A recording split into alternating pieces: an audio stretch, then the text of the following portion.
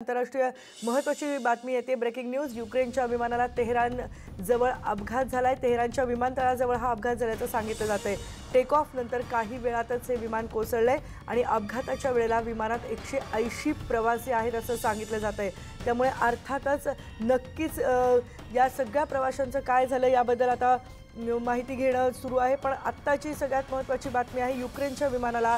तेहरानच्या या विमानतळाजवळ अपघात झालेला आहे आणि टेक ऑफ झाल्यानंतर काही वेळातच हे विमान कोसळलं आहे त्यामुळे अपघातात असलेले एकशे ऐंशी प्रवासी सुरक्षित आहेत का? का त्यांच्या जीवाला काही धोका आहे? याबद्दल अजून माहिती मिळू शकलेली नाही आहे पण ही युक्रेनच्या विमानाची बातमी आहे आणि आपल्यासोबत आहेत आमचे प्रतिनिधी प्रशांत लीला रामदास. प्रशांत काय अधिक माहिती आहे याबद्दलची?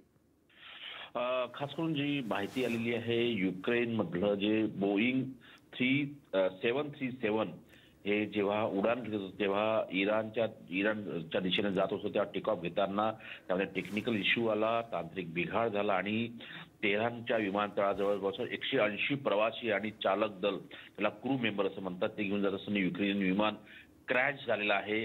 या संदर्भातली अजूनही इतंभूत माहिती पुढे यायची आहे की की कशामुळे निधन झालं कशा आणि सोबतच सध्या त्यामधल्या आतल्या असलेल्या प्रवाशांची काय स्थिती आहे किती जखमी झालेले आहे कशा प्रकारे या या संदर्भात अजूनही माहिती पुढे यायची आणि महत्वाचं म्हणजे ही एक मोठी घटना आहे कारण की जवळपास एकशे ऐंशी प्रवासी या विमानात होते आणि यामागे कुठलं दुसरं कारण तर नाही याचा देखील तपास केला जात आहे पण महत्वाचं म्हणजे सध्या ही असोसिएट प्रेसच्या माध्यमातून माहिती आलेली आहे आणि मोठी घटना झालेली आहे.